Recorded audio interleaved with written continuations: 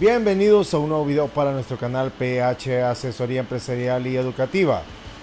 En esta asesoría, bueno, el día de ahora tenemos una lluvia, eso va a venir a reflejar un poco el calor que hace por acá, a bajar un poco la temperatura que a veces nos hace sudar un montón. Pero el día de ahora vamos a mencionar un tema eh, que por ahí me llamó la atención, ya que muchos estudiantes veo que tienen muchos problemas en lo que es racionalización, que es el tratar de eh, remover un radical del denominador en cualquier fracción.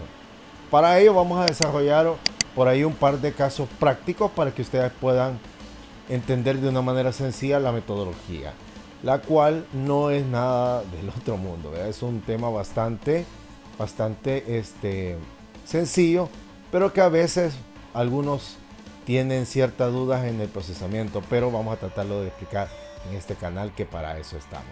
Así que para no darle más larga, vámonos con el video. El proceso de racionalización radicación, vamos a ver aquí el concepto, dice que la racionalización es el proceso de remover los radicales del denominador de una fracción. Ese es como lo podríamos decir, eh, eh, es una em, característica matemática en el sentido de tratar de remover eh, los radicales de donde del denominador. O sea, esa es como la parte primaria de esta metodología. Ahora, ¿eso cómo se hace? Veamos un ejemplo sencillo. Cuando vamos a, racionalizar, un ejemplo, vamos a ver un ejemplo sencillo.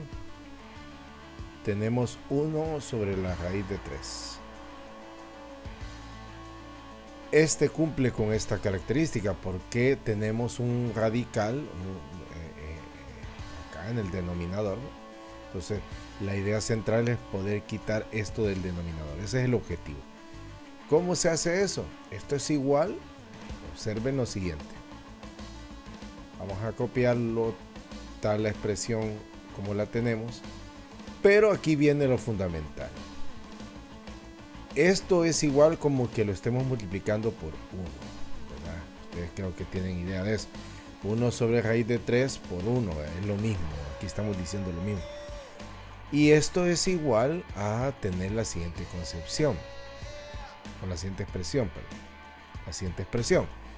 1 es como tener 1 sobre 1, 2 sobre 2, 4 sobre 4, 6 sobre 6, raíz de 2 sobre raíz de 2. Ah, o sea que estamos incluyendo radicales.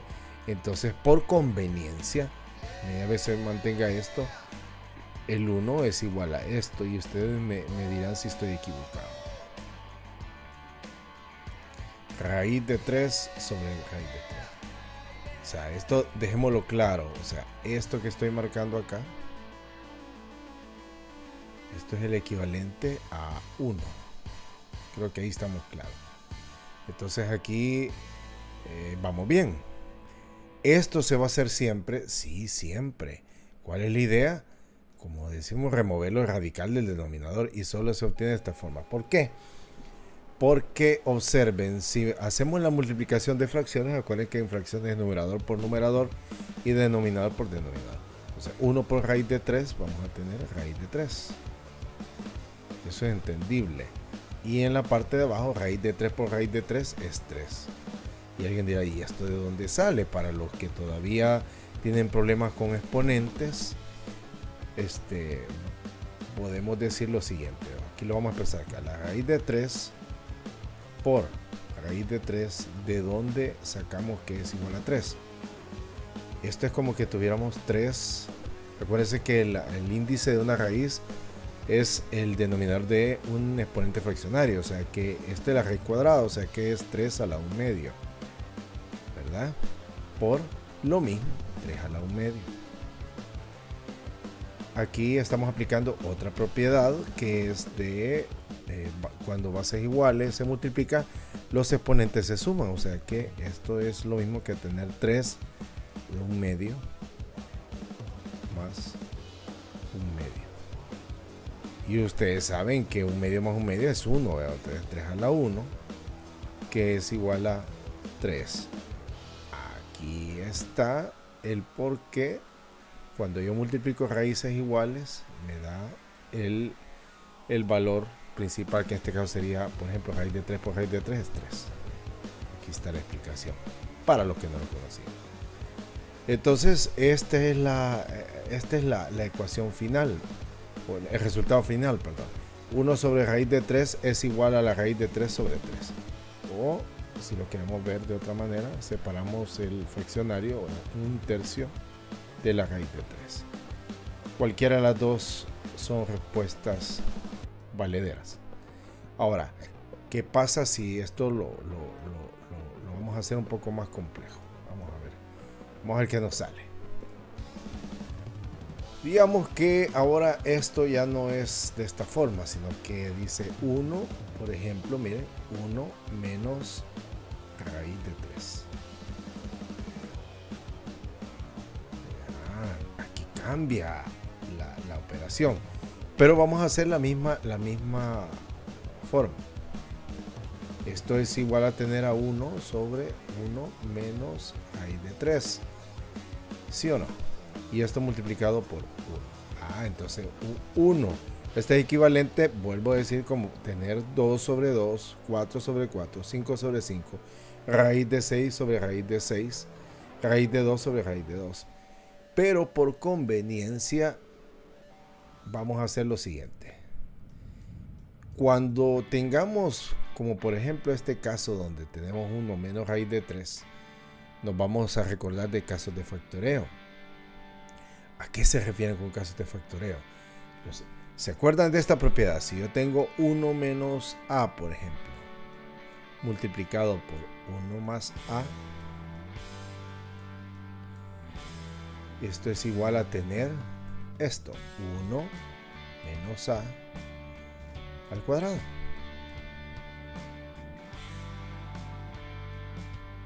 Creo que se recuerdan de esto. Es una propiedad, si no lo podemos hacer 1 por 1, 1. 1 por a más a. Menos a por 1, menos a. Y a por a da menos a al cuadrado yo estoy poniendo la revés, le puse paréntesis, de esta forma, uno menos cuadrado. Estoy, estoy, este es una multiplicación, una multiplicación. Pero si, si ustedes se recuerdan, lo voy a escribir bien. Esto es como 1 eh, menos al cuadrado, que también es igual si lo vemos desde el punto de vista de factorización. Factorización, esto es diferencia de cuadrados, ¿se acuerdan? 1 menos al cuadrado, si lo veo desde el punto de vista de factorización, eh, abrimos dos paréntesis y vamos a colocar la raíz de ambas. La raíz de 1 es 1 y la raíz de a cuadrado es a. Ah, entonces aquí vamos a colocar 1 y a.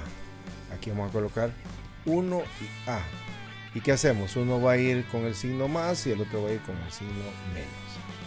Esto es lo mismo que lo anterior, ¿verdad? solo que aquí lo veíamos de productos notables. Este es el caso de factorización. En productos notables yo le estaba colocando el paréntesis, no, es el 1 menos a cuadrado. Porque eh, lo podemos ver de cualquier forma. Y, y, por qué estoy hablando de esto? Porque estoy haciendo mención eh, a, esta, a este punto. Ese es lo estratégico. Para poder resolver esta situación vamos a hacer lo siguiente. Miren. La idea es, si yo coloco esto tal y como está el denominador en la fracción que estamos operando, no salgo de nada. Esto. O sea, yo bien, bien podemos hacer esto, pero no vamos a salir de nada. Y la idea es reducirlo. Entonces, ¿por qué no hacemos lo siguiente? Como aquí está negativo, aquí me pongo positivo.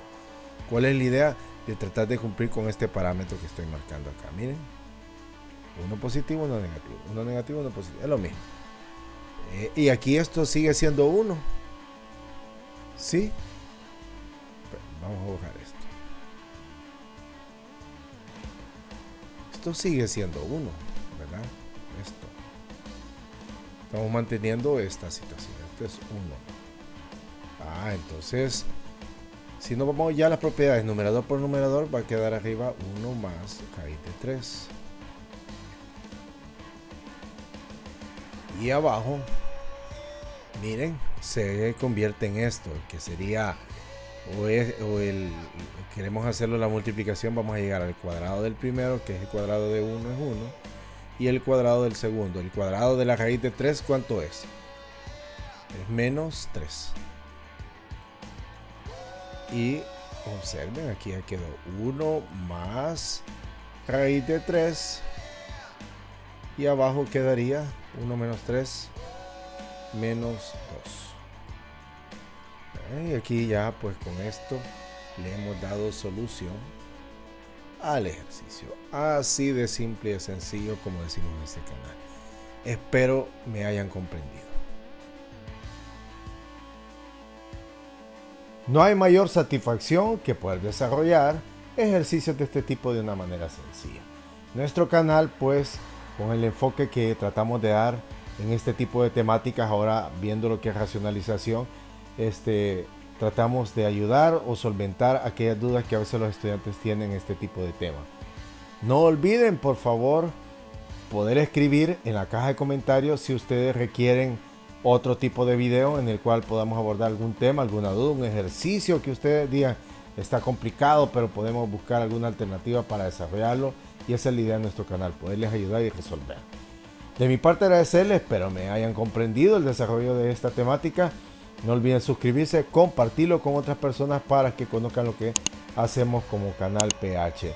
Desde hace un par de videos estamos este, hablando un poco sobre el tema que ya vamos a compartir algunos cursos. Vamos a hacerlo desde la plataforma Moodle y se van a dar cuenta cuáles temáticas vamos a tener ahí. Así que este, también quería mencionar, Melvi ha estado incapacitada está enfermita. Esperamos que ya la próxima semana se reincorpore. Le vamos a dar descanso. Así que eso nosotros estamos cubriendo.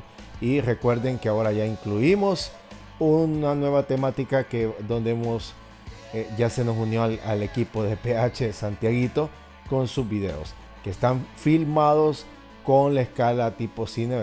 Son cortometrajes que vamos a estar desarrollando de los temas que el niño sugiere y de los temas que él quiere darles a conocer a todos nuestros suscriptores. Así que de mi parte vuelvo a agradecerles. No olviden darle clic a la campanita para que les lleguen las notificaciones de los videos que hacemos semana a semana. De mi parte vuelvo a agradecerles y nos vemos en un próximo video.